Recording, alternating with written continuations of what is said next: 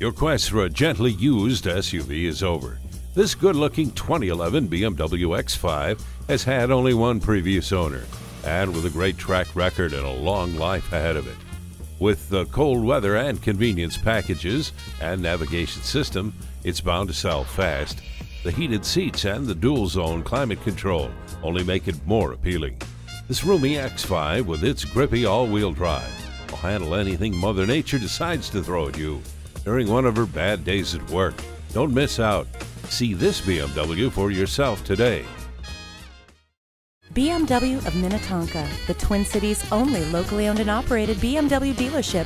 We're conveniently located at 15802 Wayzata Boulevard in Minnetonka, Minnesota.